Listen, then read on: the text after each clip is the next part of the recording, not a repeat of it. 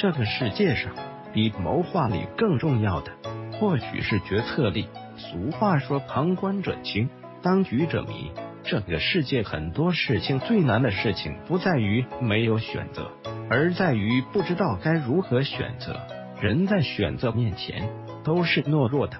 阿信的朋友陈思凡就为这件事儿烦恼。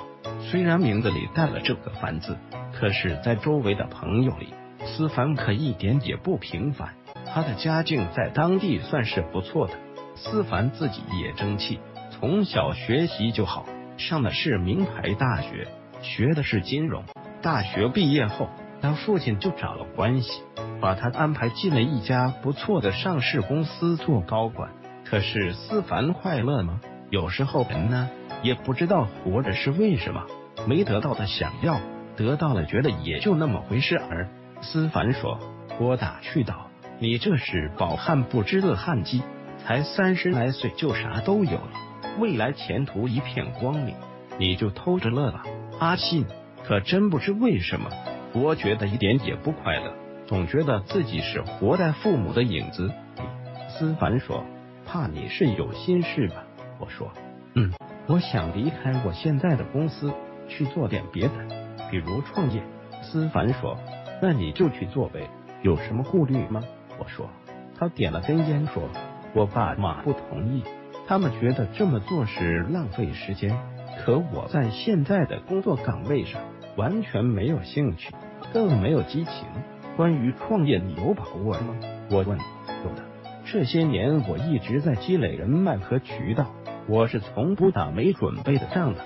阿信，你说我该咋办呢？二相信很多朋友有着跟思凡一样的问题，比如到底是打工还是创业？打工觉得不甘心，创业又有风险，加上家人的阻拦，那么我们到底怎么办呢？其实你会发现，人的一生到最后的结局都是自己选的。世上凡成就大业者，都是于最关键时刻善于做最后决断的人。对我们今天要讲的是决断力。说到决断力，我们就不得不说兵祥韩信。当年他被吕雉算计时，说的最后一句话就是“悔当初不听蒯通之言”。啥意思？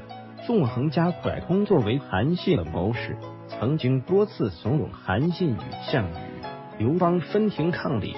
三足鼎立，可是韩信念及刘邦的知恩，始终不依不决。俗话说：“当断不断，反受其乱。”或许说的就是韩信。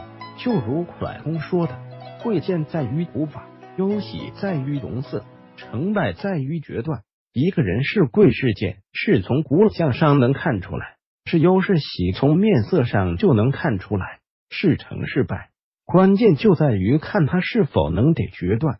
只可惜，韩信是一流的兵法大师，一流的谋划手段，但却只有三流的决断力。每次给蒯通的答复都是“容我再想想”，一直想到小命都丢了才想明白。可是呢，一切都为时已晚。三人生向左走，向右走，走的不同的方向，你的人生旅途也将是不同的风景。那么，鬼谷子是否给我们一些建议呢？有的。一共五句话。鬼谷子说：“威而美名者，可得觉之；不用费力而易成者，可则决之；用力犯勤苦，然不得已而为之者，可则决之；去患者，可则决之；从服者，可则决之。”鬼谷子知道我们都是不擅长做决断的人，所以他给我们设定了五种提高决策力的标准：一，虽然有风险。但是能获得名誉的，可以马上做决断；二不用费力气，轻而易举能成功的，可以马上做决断；三虽然比较辛苦，但是不得已而为之，可以马上做决断；四可以躲避祸患的，可以马上做出决断；五可以获得好处的，可以马上做出决断。那么韩信属于第几点呢？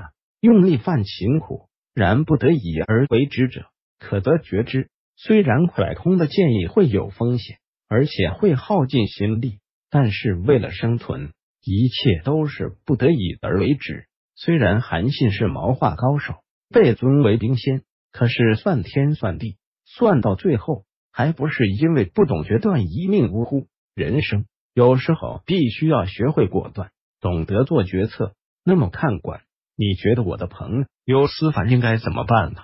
学习国学鬼谷子谋略智慧，欢迎关注鬼谷子微信公众号，b do z 七六幺九二九九，我们一起纵横捭阖，鬼谷论道。